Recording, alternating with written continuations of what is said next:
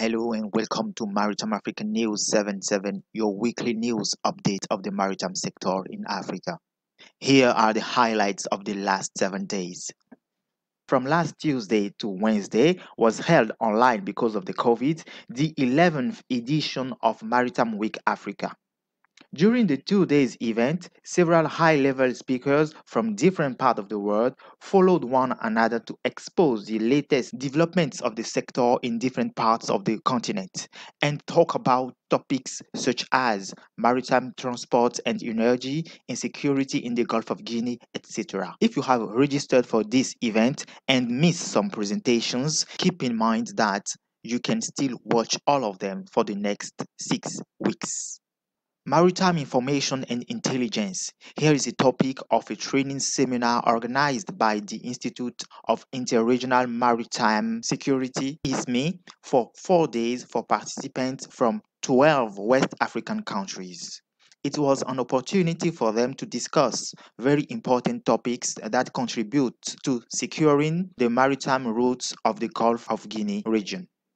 Last Wednesday, the NATO Southern Hub supported by Three Stones International, organized a webinar under the theme Gulf of Guinea Improving Maritime Security.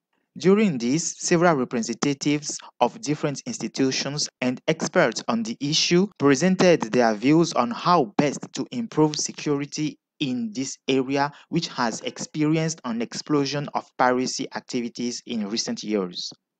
This week also witnessed the opening ceremony of a two-week workshop on Yaoundé Architecture Information Sharing Platform Yaris at the headquarters of the Multinational Maritime Coordination Center MMCC Zone F in Accra, managed by the ECOWAS and led by Commandant Benin. It was an opportunity for the Gogin team and the staff of the MMCC Zone F to make demonstrations on the use of the Yaris platform. This ceremony was chaired by the Director General of the Maritime Authority of Ghana, Mr. Thomas Kofi Alonsi, and was attended by several officials of the national and international maritime community.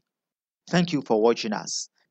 You can have more of the maritime news in Africa on our website www.maritimeafrica.com and our various social networks.